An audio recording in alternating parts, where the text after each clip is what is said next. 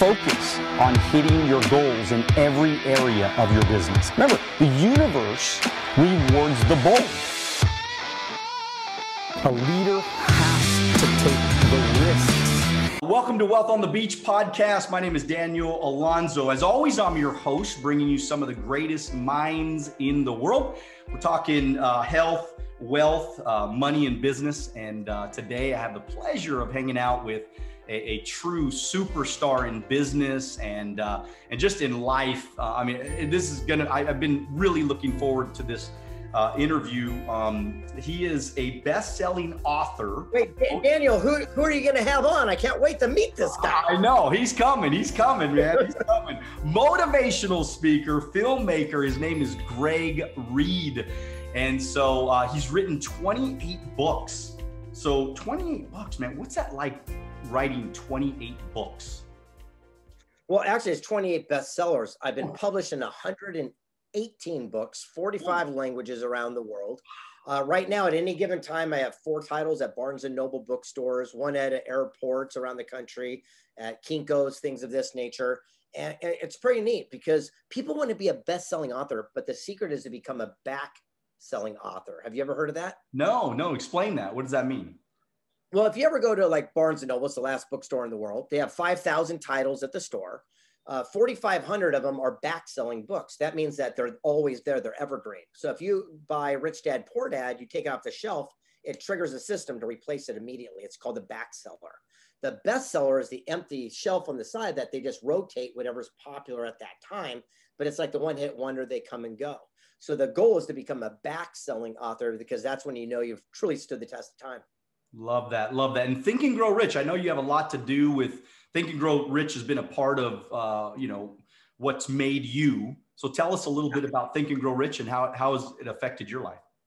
Yeah, well, back in the day in 1908, Napoleon Hill was given a letter by this guy named Carnegie to go meet his friends.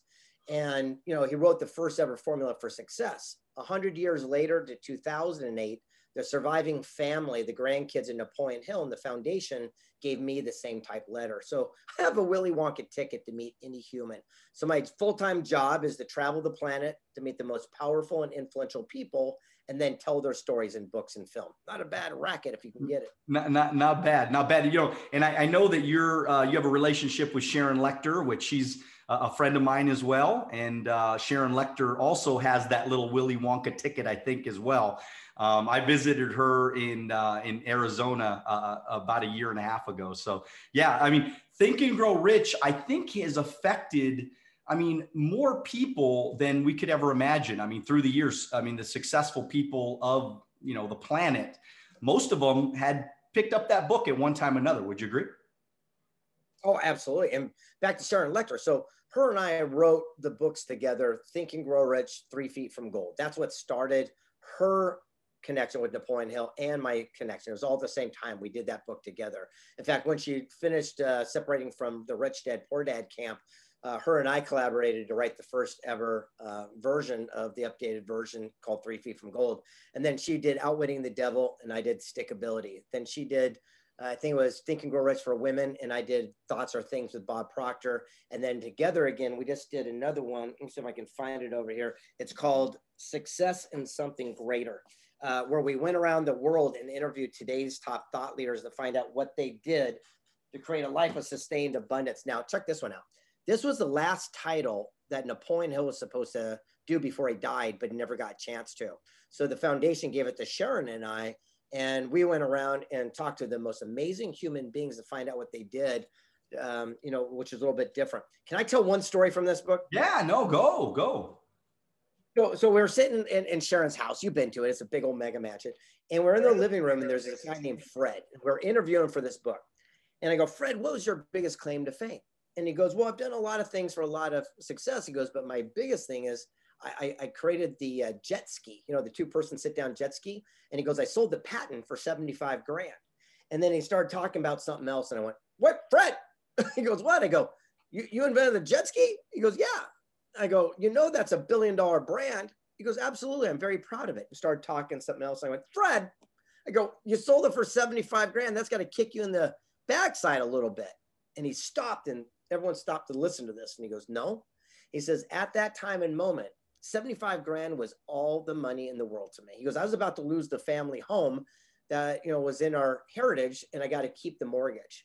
He goes, I got my employees caught up that I couldn't. And it was the first time in my adult life I slept all the way through the night. And he goes, I had free time, something I wasn't even aware of. And I went through the attic and started cleaning. And I found these little metal die cast cars I played with as a child. Said, a buddy of mine's in NASCAR. So I put his number on the side and I gifted it to him. Well, the other drivers got mad. They wanted one. So I made them for them too. Eventually, NASCAR came to me and bought the rights for over 151 million dollars. And he hmm. goes, as an entrepreneur, sometimes we have to do a deal in order to get us through to do another deal. Wow, powerful. I like that. I like that. And so, um, so Greg, tell me, like, I mean, where did you grow up, man? What was it? What was life like as Greg the child? Um, what was your childhood like?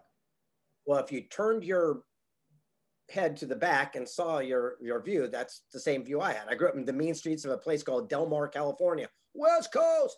I mean, I still skateboard every day, just a regular beach rat. You know, this is where I, I was born and raised. You know, there you hear all those rag to riches stories and riches to rag stories. I don't have one of those. You know, I grew up a yuppie kid. I, I pretty much uh, we we had everything that we ever wanted and had a very good quality of life. And what's really more importantly, I'm realizing you don't have to lose everything and have so much adversity in your life to have some success and to celebrate it and to exponentially grow it so you can teach others to do the same. And so, uh, what did your parents do? Uh, they're they rocked. I mean, uh, my dad here ran uh, NASSCO, which was the biggest shipbuilding company in you know the country and then my mom she was an entrepreneur and she worked at different businesses and they always just taught me you know the common sense principles but you know they didn't always get it. I mean the same thing. They wanted me to have a better life. When i was 17 after high school i was i left home and they go well go to college. We'll send you anywhere you want to go just tell us where you want to go write a check. And i said no and go I, I want to get into sales. I want to get into marketing. I, I like people. I, i'm going to get out there. I don't like school and my dad looks at me as I'm walking out the door and he goes, Boy, you're never going to make a living talking to people. I love it. I love it. And, and, so, so do you think though, I mean, like growing up, were you a good kid? Were you a bad kid? Like what kind of kid were you growing up? Again, my perception of it was probably different than theirs, and theirs is probably different than mine. So, in my interpretation, I was amazing. I could walk on water and kill leopards, you know. But in real realities, I'm not so sure. Yeah, I mean, uh, so but but I would imagine. I mean, and again, correct me if I'm wrong, but I would imagine you you know you got probably into a little bit of trouble because you're willing to push the boundaries, you're willing to take risks, you're willing to go things that you wanted. Am I wrong about that? Yeah, to, I mean, uh, the stuff I got in trouble for. I mean, I get, I mean, look at all these trophies and crap. I mean, I, I get accolades for what I got in trouble for as a kid. So that's my truth. Again, so it's a perception.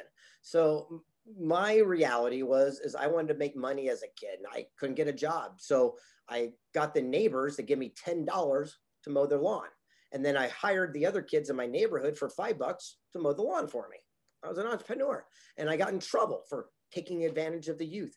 But again, that's what I do for a living today. So I, my perception might be a little bit different than theirs, but the whole thing is, I think from the very onset, that's just the way I thought. And and did you have a, a mentor growing up? I mean, besides your parents, or I mean, was there anybody that really kind of shaped your thinking as a, as a as a as a young man? No, I, I, had a lot of you know teachers and coaches and things of this nature. But, but when it was you know I turned 18, yeah, when I got my first job, uh, then I started having amazing mentors. In fact, I wrote a book here somewhere around here called this is the first book I ever did. It's called The Millionaire Mentor, and it's all about the mentors that guided me in my youth. And now I mentor inner city kids in San Diego and give back to the community as a whole. And I realize that sometimes all we need is one person to believe in us when we don't believe in ourselves, that we can do amazing things. But again, I think I, I have a different life. You know, I was a weird kid. People say, How is it that I've done the things I've done? I just had a mom that told me, Hey, you can do anything you put your mind to. I believed it. So if something came up and was a challenge, I just figured I could do it if I put my mind to it. And that was always a mentality. Look, when you, you talk about the, the books and all this stuff. Here's the reality of people watching. I can't really read very well. I can't spell. I am dyslexic. Play me words with friends. I promise you'll win. So when you do a book, you write a query letter. It says who you are, what's your message, why an expert, who's going to read your book. I, I was turned down by 268 publishers for this book. And the 269th one said, we'll do it, but change the title, the beginning, the middle, and the end, because I didn't know what I was doing. So I got a ghostwriter. They rewrote it. It went on to become a global phenomenon in all these different languages, which led me now to impact the lives of millions upon millions upon millions of people.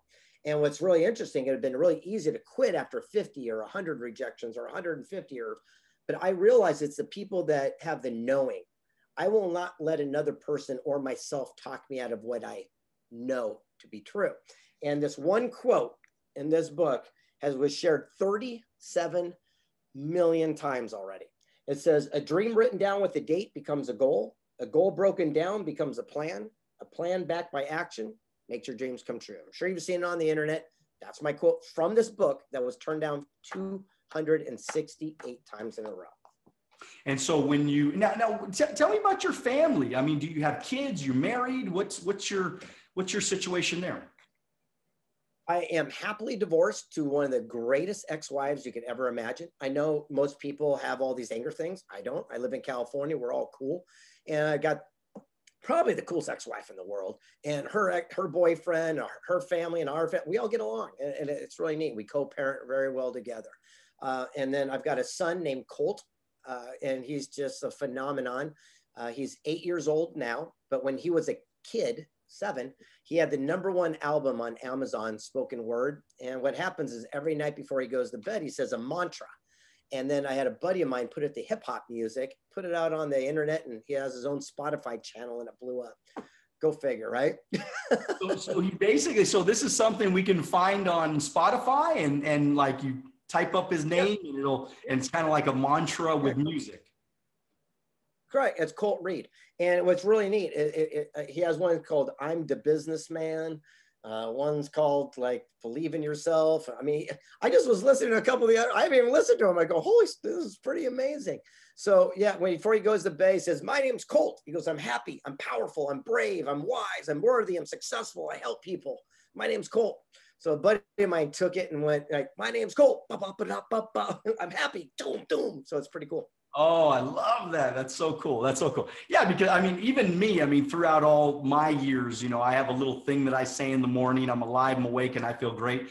Um, and, and I just there's there's something that you know just kind of gets you moving in the right direction. Um, uh, every single day, I think about that, and and I I feel lucky that you know I, that at a young age, at 21 years old, I was able to uh, create a business become very, very successful. But the most important thing that I think that after all said and done is that we've been able to help other people become successful as well and uh, and I, I, just I feel so blessed and lucky that I, I kind of like from a young age I was taught those type of things. A lot, lot of I learned a lot of stuff from Anthony Robbins early on. Kind of shaped a lot of my uh, you know thinking. Of course, Think and Grow Rich was was an incredible power, incredibly powerful uh, book for me to read in the beginning. Um, and so I mean, as far as like I know right now you're a founder uh, and CEO of Work Smart um, advertising firm, right? And so tell us a little bit about that. Yeah, well, I, I, yeah, I sold that business in 2004 or something like that. So that that that was one my first business success that I I got a I took from just an inception to a success. And when people when I sold it, they go, "How in the hell did you pull that off? You can't. You're dyslexic. You can't spell. How did you pull this off?" And I says, "Well, I listened to these tapes. I, I went to these seminars. I, I believe in these little chants and, and, and mantras." And started applying it, and, and I started speaking at the local universities and a kid said you should write a book. I go that's a great goal. I've never read one. And so i started the journey and here we are and now i've got to walk on the star on the walk of fame for writing books worldwide. And the whole thing is that if you work your strengths and hire your weaknesses you can have anything you want. Now look I, we only okay wait wait, wait. Say, say that again. Say that again. Say that again. Work your yeah. what? Say that again. you work your strengths and you hire your weaknesses. And so i cannot oh i love that. Huge. Yeah so for for for example i've got a book right now, this is Wealth on the Beach. I got a book out right now called Wealth Made Easy. Uh, for three years, I interviewed people worth 100 million to a billion dollars and wrote all their stories and little wealth hacks into this book. And the guy I co-authored it with, his name is Gary Krebs. Now he's the former publisher of McGraw Hill Publishing Corporation. Who can write a better book, me or that guy, right? When I did this book, the guy writes a curriculum for Princeton University. Who can write a better book, me or that guy? Same as the next, same as the next, same as the next. So I work my strengths and go ba ba ba ba ba, and then they craft in a way people would want to read it. It's the same thing. If you walk into my house, I'm a bachelor right now. If I picked out all my furniture, everything would be brown. So I get all these designers to make it look amazing. So when you walk in, you go, oh, it's glorious, but I had nothing to do with it. Work your strengths, higher weaknesses. But there's like three nuggets I got to share. We only got 15 minutes. So this is it. When Sharon and I did Three Feet from Gold, our biggest takeaway was this successful people seek counsel and failures listen to opinion. Opinion is based on ignorance, lack of knowledge, and inexperience, like your family friends who've never done what you want to do. Counsel is based on wisdom, knowledge, mentorship, people who paved the way. If you go to a family friend and say you're going to write a best selling book, they're going to talk you out of it to protect you, to keep you safe because you're dyslexic and they've never written a best selling book. But if I go to Mark Victor Hansen, who wrote Chicken Soup for the Soul, he's going to say, Greg, sit down. Here's what you need to know and give you counsel based on wisdom, knowledge, mentorship. If we would spend our activity only seeking counsel and ignoring people's opinion, that's the day your life would change. And so, uh, so I mean, what would be? Because I know a lot of people are probably listening right now, and they're th- they've always thought about writing a book about anything. Maybe it's a cookbook, maybe it's a whatever. I mean, where where do they start? What's the first step for them to start? Well, eh, I'm going to give different feedback again, a different counsel than maybe a, a predecessor or somebody else. Here's my answer: Don't write it because if you would have, if you're a good writer, you've already done it. So shut the hell up, look at yourself and go, look, I, I, I suck at this thing. So what do you do? And then you go on to upwork.com and you post an ad, say for a thousand dollars, I'm looking for an editor or ghostwriter to take my words and craft them the way people want to read it. There, there's so many solutions. There are no excuses in today's world. Every single thing we need is at our fingertips right now. It's so funny. You know, I got a major motion picture out and it's streaming on Netflix called Wish Man. And, you know, we're up for, we made the ballot for the Oscars last year and it was pretty cool. And people go, well, it's easy for you because you're connected. I don't know anyone in that business. But what happened is I took out an ad on a website. Don't tell anyone it's a secret website. It's called Craigslist. Shh. And I said, I'm looking for someone to help me write this story. A guy answered the ad, wrote the screenplay, directed the movie, helped me produce it, and we've won all these friggin' awards from around the world. And the bottom line, there is no more excuses. It's just taking action because it's the action in law of attraction that makes our dreams come true. Think it, feel it, shut up, get off your backside, do it. Now, law of attraction. I'm glad you brought that up. I mean, what what is it? I mean, because a lot of people say that it's it's BS law of attraction it's you know it's it's it's like a spiritual thing it's it's you know the whatever it is you know what do you say about what do you what would you say to those people that say law of attraction is bs you think about it and you create it in your mind and then the universe and all that like what, what would you say to those people well i'm not a psychologist and i'm not a therapist but i will say this that's up to you. I mean, if, if you don't believe in it, that's your choice. It's the same thing if you don't believe in a higher power, if, if you believe in the Easter Bunny, that's that's your choice. It's not my job to change your mind. On the, but for myself and my friends and sphere of influence, we truly believe that energy is energy. And I, I hate to tell you, you know, and your outside per, uh, perception is a great it's just uh, is a great like know, Geiger counter for how you're feeling inside. I'll give you an example. If I go to the grocery store and everyone's in a bad mood and everyone's a jerk, chances are that's what you're feeling. If you go to the grocery store and everyone's in a good mood, chances are that's how you're feeling. So to me, I usually look at how I'm seeing other people outside me because that is me. We all need mirrors to remind us who we are. All right. Second nugget. I got to get, get going here because I got three nuggets I promise you I'm going to drop for you. This is a big one. I wish I would have learned this early on in life. Okay. Um, and by the way, back to the law of attraction before I do this one is it, we do not attract what we want in life. Everyone just listen to me. You do not attract what you want. You only attract more of what you are. That's it. That's it. And once you understand that and you change who you are, you'll attract that accordingly. That's the way the law of vibrations and work, energy, woo woo, business, science whatever. It's just the way it is. Okay, so here's my nugget. If I could have learned this, like I said years ago, it would have been everything. CPC. So if everyone listen to this, if you're waiting for a nugget, this is it. This is like the golden gem of golden gems. It's an acronym that stands for C clues, P patterns, C choices. It's so simple. When I explain this to you, you're gonna go, oh my goodness. One, I'm a single guy. I mentioned it before. I go out on a first date. The woman happens to be 20 minutes late. Well, there's a little red flag, but that's a clue. Anything could happen. But if I go on the fifth, sixth, seventh, eighth, ninth date, every time she's 20 minutes late, that forms the P, which is called the pattern. Now it's my C choice whether I deal with it, yell at her, break up with her, but it's not her fault. She's just late. Stop trying to change her to fit in your own little paradigm box. But we see people in a bad reputation in business. They cheat your best friend. You do business thinking it'll be different. Things go wrong and you're mad at the person. You saw the clue, you saw the pattern, you made the choice. It's like seeing a rattlesnake rattle, bite your kid's sister. You go to pet it, get bit, and you're mad at the snake. Looking back, rarely are we angry at the relationships that failed or the business things that didn't go good. We're just mad that we stayed in too long because we saw the clue, we saw the pattern, and we made our choices late. The most successful millionaires and billionaires on the planet, the only thing they do, do different, the only thing is they're constantly looking for clues and patterns, and they make their choices lickety split. Secret knock. What, what's that all about?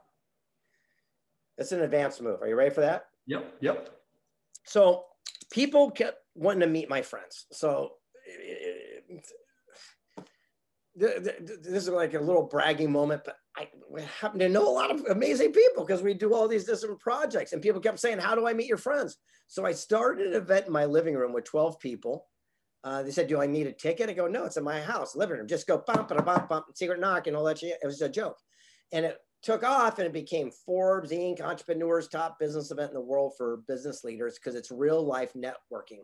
There's no name tags, there's none of that stuff. You have to apply to go you have to make sure that you bring value to our circle and that we can bring value to you before we even accept you. And once we do, it costs three grand to go. And I will not tell you where it is or who will be there. Nothing. All I will tell you is the date and the city and state. That's it. And so you can make your flight arrangements, but that's it. And then right before the event, I leak where the secret event is, and then people show up. But what's nice is when you go, you can just be you. You can wear flip flops, tennis shoes. You don't have to try to pretend to be anyone because the only people there are the top people. You mentioned going like a, one of these other events like Tony Robbins or people that I truly admire and respect. But there's 20,000 people, but out of that, there's 200 or 300 that are amazing. Secret Knock is just those 300 people. So imagine that if you can. It's like the cool kids table. And so, for example, last one I just did, I had Presidente Vicente Fox come in and he didn't want Secret Service and stuff. So we're sitting on stage. I go, Vicente, I go, you know, tell me, I, I, I will start an interview slow and we're waking our way up. And he says, yeah. I go, I understand you're building me and Trump a wall. I go, thanks a lot for that. He goes, you son of a, and he freaked out. And then he told a story about how Bush and Condoleezza Rice and Colin Powell went to his hacienda with a little vial to talk him to go into war in Iraq and how he couldn't see that. And it was so interesting to hear right from someone who experienced it firsthand.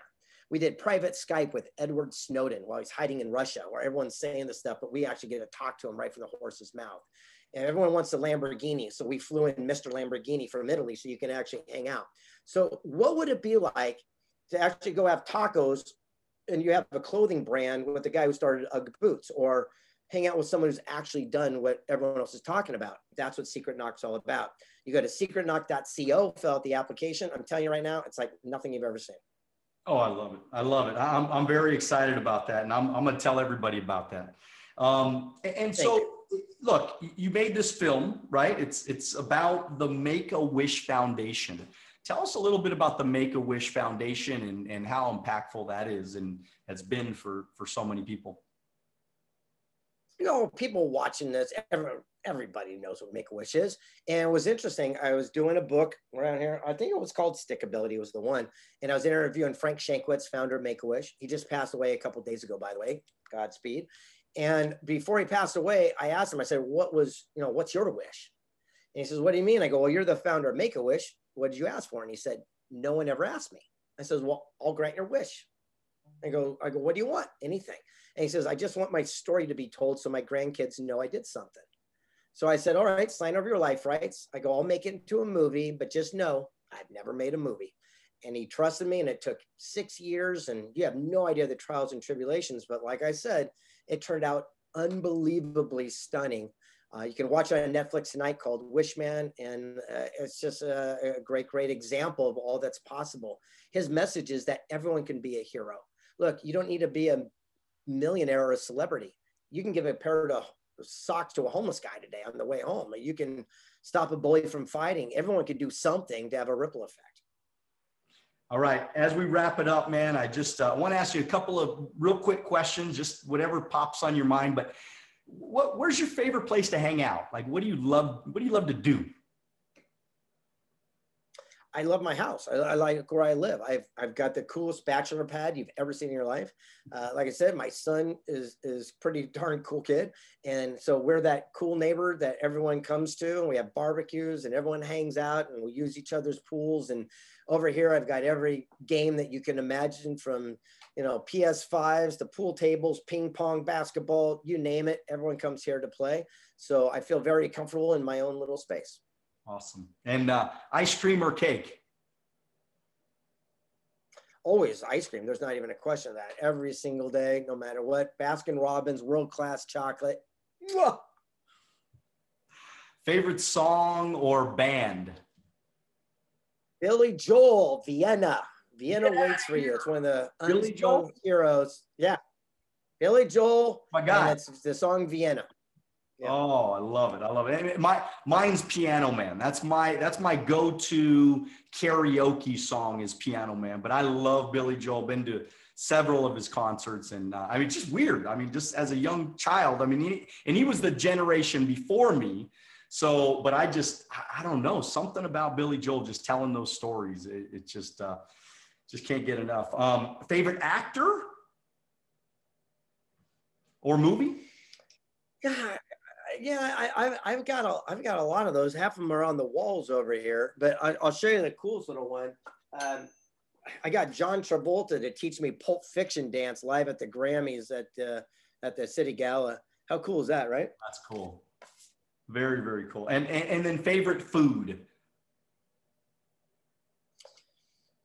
You know that changes all the time but i go to my fan favorite of uh, crab. I mean i'm just a huge fan especially down in san diego. Uh, there's this thing called crab hut and uh, and the boiling crab. Oh my gosh it's absolutely incredible. When people come from out of town especially when the restaurants are open that is our spot that we always go hang.